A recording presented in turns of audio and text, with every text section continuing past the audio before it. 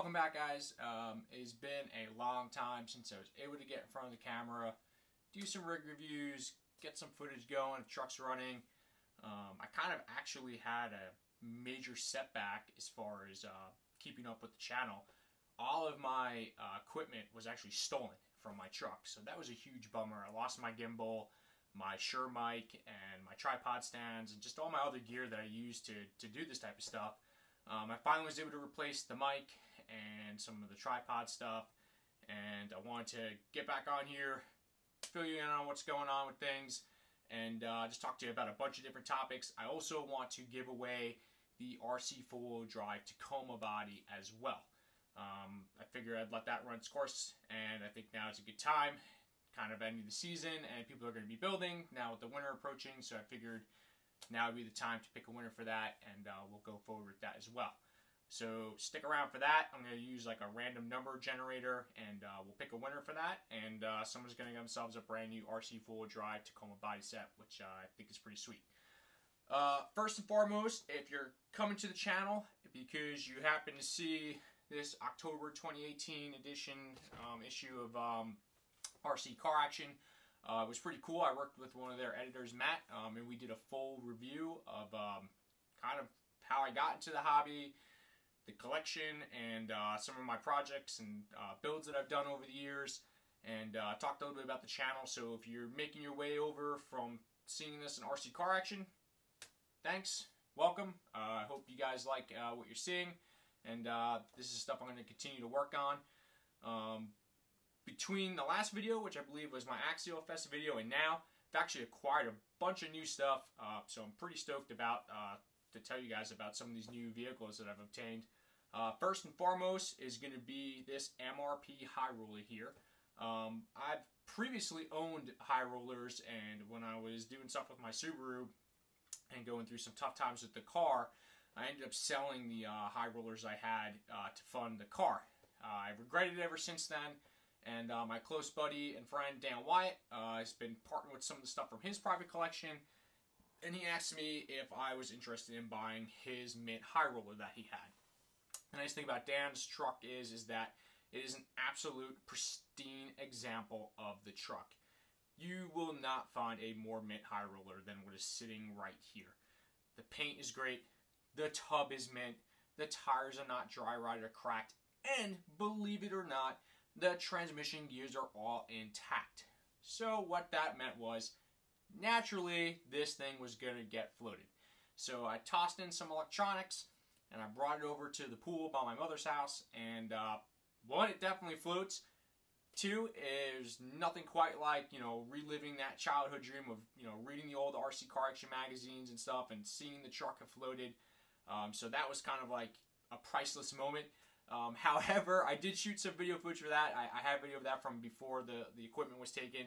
However, it's kind of like watching the Yule log burn. Um, so uh, I'll, I'll, I'll, show you guys some of that. But um, yeah, not it's it's not as exciting as you'd think. But in terms of uh, just cool monster trucks and showing my roots and um, you know again resorting back to things that I grew up reading that I thought were awesome. Uh, the MRP High Roller here. This is really it's like one of the OGs of, of, of monster trucks. It was absolutely terrible, um, and it obviously was not nearly, or I wouldn't even really consider it a success at all in comparison to things even like the Kyosho USA 1, which in my opinion isn't really a huge success, or wasn't, uh, but it definitely did not have the following that the, uh, the Clodbuster had, or anything like that. And at this point now, it's really only something that like a true collector um, is going to be interested in. Um, the parts are super hard to obtain. They're very scarce. Um, and overall, as far as using it, it's really not very usable. It doesn't steer well. It doesn't really run well, but it's a must-have when you're when you're you know talking about vintage collections and uh, you know having a nice example like this is, is really cool. Um, I also obtained a bunch of trucks from uh, Pardon My Noob from Rich, which is a good friend of mine.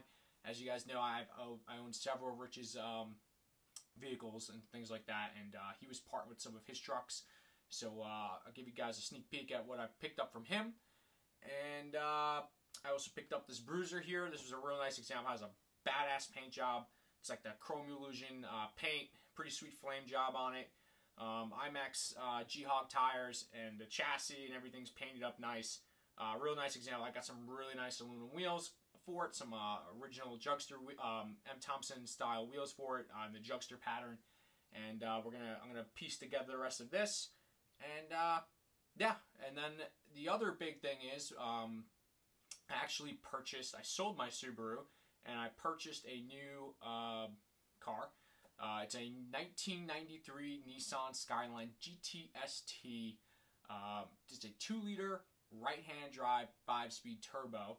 Um, that's a car that I've always wanted, and um, I kind of started rolling around the idea of parting my Subaru, and uh, I found a buyer for it. I sold it, and I found this GTST, and I jumped on the opportunity to uh, pick that up. So that was kind of, uh, you know, for me, that was a good uh, move. It, it's a, it's just a fun car. The right hand drive is fun, and uh, yeah, been kind of tinkering with that.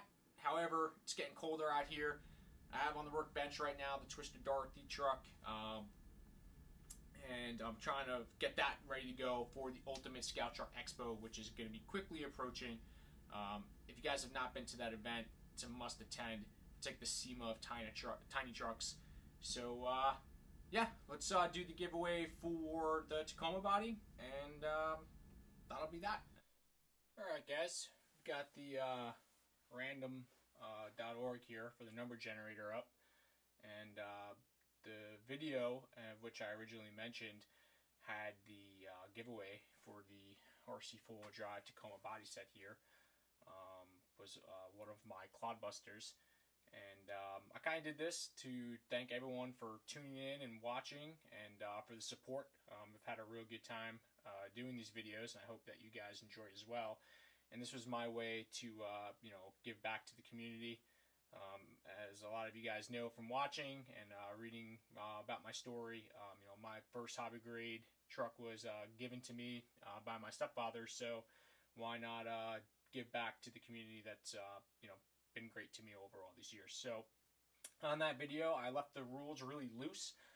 Um, there really wasn't any um, you know restrictions as far as um, you know how many times you could post or enter. Um, so on that video, we had uh, 40 comments, so I got 40 in there, and uh, we're gonna generate uh, the results now. We'll give this body set away. Okay, so I went down the list starting from the first comment down, and uh, here we go. So the result, in case you guys can't see it, is number 26. Alright. So, uh, give me one second here. I'm trying to get used to this new uh, tripod. So we'll go back to the video here.